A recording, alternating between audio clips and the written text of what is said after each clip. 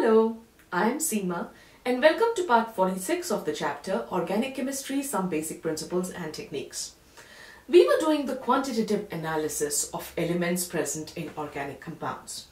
And till now we have studied how do we analyze the quantity of uh, carbon, of hydrogen, of nitrogen and uh, of the halogens. In this video I'm going to start talking about the estimation of sulfur how do we find out?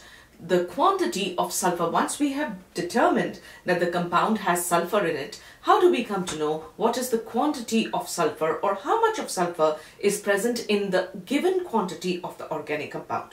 From that we will calculate the mass percentage of sulfur in the compound. It's the same as we have been doing for other elements. We first identify the element and then we want to know how much of the element. Once we know all the elements that are present in the compound we would like to know the mass percentages of each element in the compound so that we can determine the empirical formula.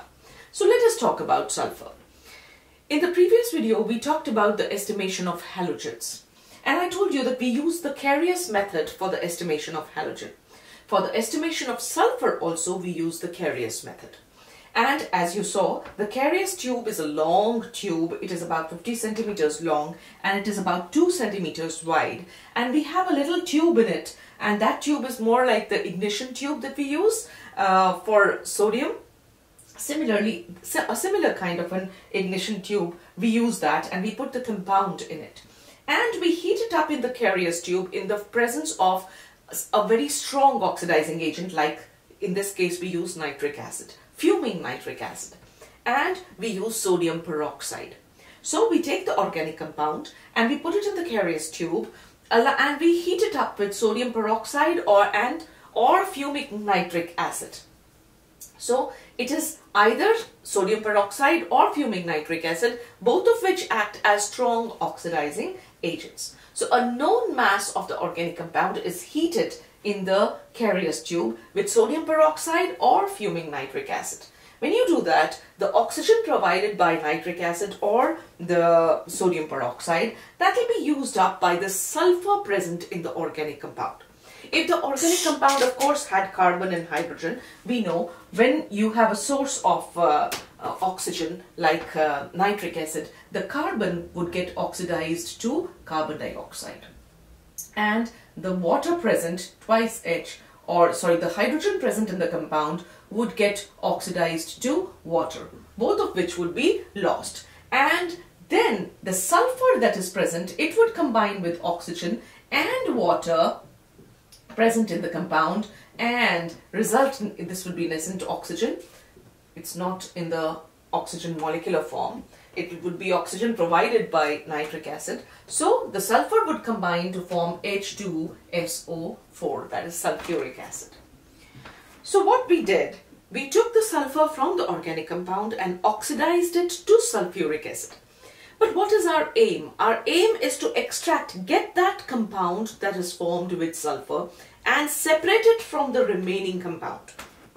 So that is done by you when you get H2SO4 and you already have nitric acid, you have two acids. How do you separate out the sulfur? We need it in a form that allows us to separate it out. So what we do, we convert it into a compound called barium sulfate.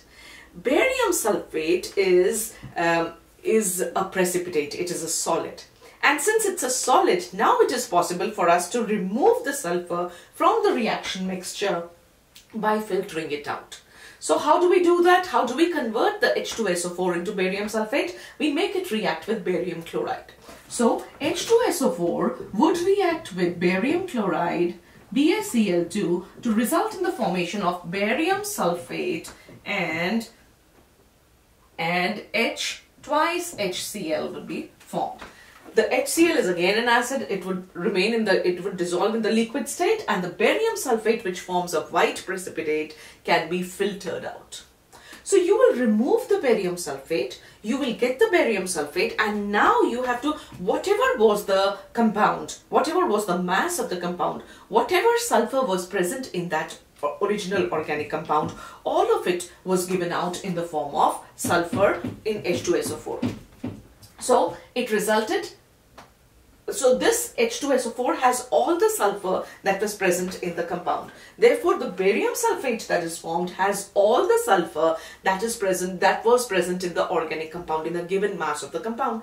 From this, if we know the exact mass of sulfur, we can calculate the exact mass of sulfur from the molecular formula or the molecular mass of barium sulfate and by knowing the mass of barium sulfate that was produced. So we use unitary method, we find out the mass of sulfur from there and just as we have been doing in the other elements earlier, the calculations are the same. Once you estimate the mass of sulfur, you will then find out in if m grams of the compound has these many grams of sulfur, then in 100 grams, how much would it be? So again, you would be using unitary method to find that out. So let us see. Barium sulfate, whatever, if m grams, let me first read this out. A known mass of the organic compound is heated in a Carius tube with sodium peroxide or fuming nitric acid, both of which are going to act as suppliers of oxygen. Sulfur is oxidized to H2SO4 and then it is precipitated as barium sulfate by adding excess of barium chloride in H2O.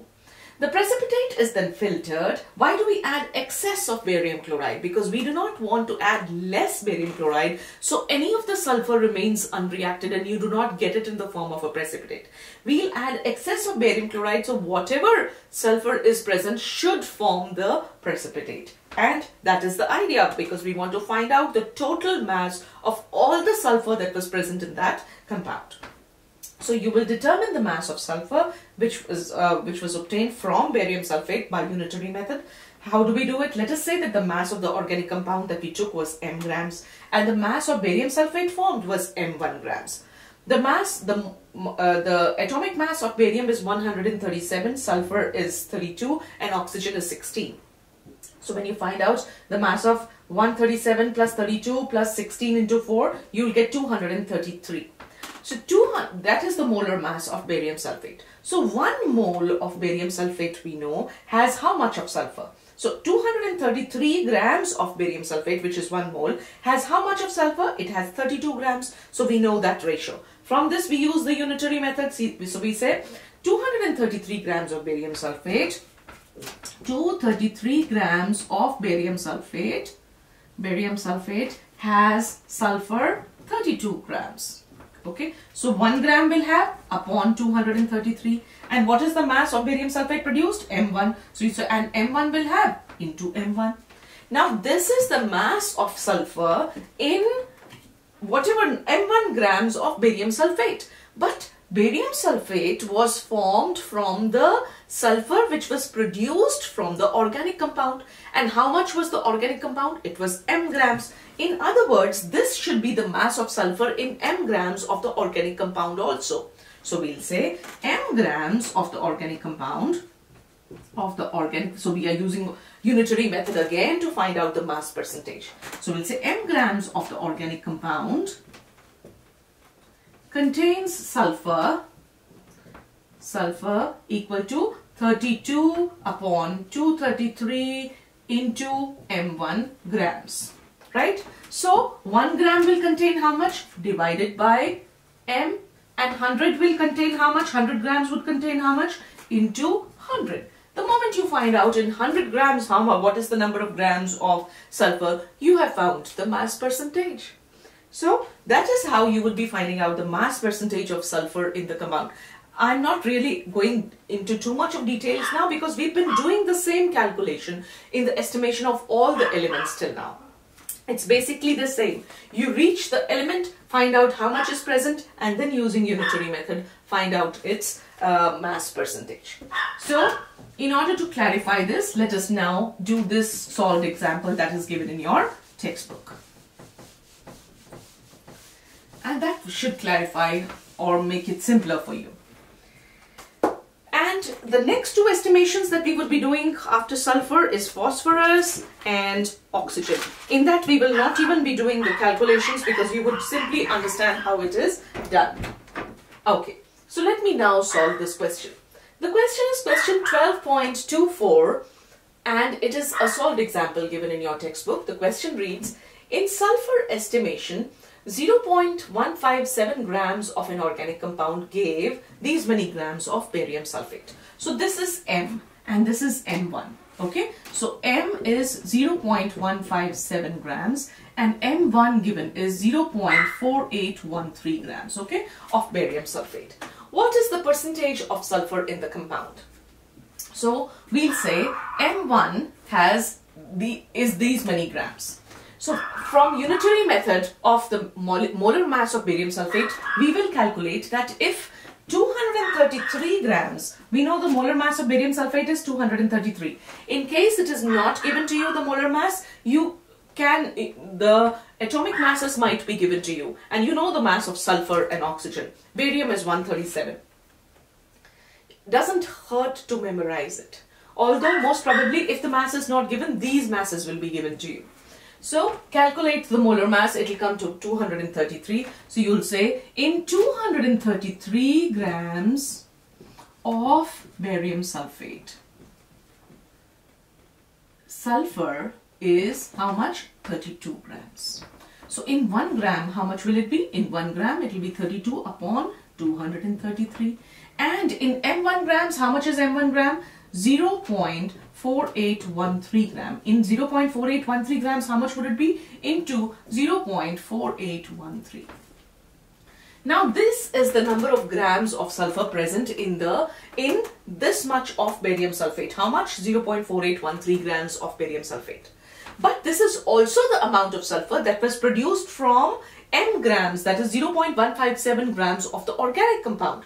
So since the sulfur that is produced is present in uh, barium sulfate is equal to the sulfur that was produced from the organic compound, we will now use unitary method to find the mass percentage. So we'll say that 0.157 grams of the compound, of the organic compound, has sulfur 32 upon 233 into 0.4813 gram okay grams of sulfur. So 1 gram of organic compound will have divide by this into 0.157 grams the grams will get cancelled and 100 grams will have into 100 so you'll get the answer in grams but since it is in those many parts in 100 parts the answer will be in percentage. So when you multiply it by 100 what will you get? When you calculate this you will get uh, 42.1%. It is 42.1% is the answer that you would get. So 42.1% of the organic compound is sulfur or the mass percentage of sulfur in the organic compound is 42.1%. Alright, so this was how you estimate the presence of the amount of carbon quantitatively, uh, sulfur in the organic compound. And with this, I'll wind up today's video. If you found it helpful, please give it a thumbs up, subscribe to my channel, recommend it to your friends, and please keep returning for more videos in chemistry. I apologize for the dog barking of the dogs, but they are with me, so uh, I can't avoid it. But I hope you found it useful. Thank you for watching, and bye-bye for now.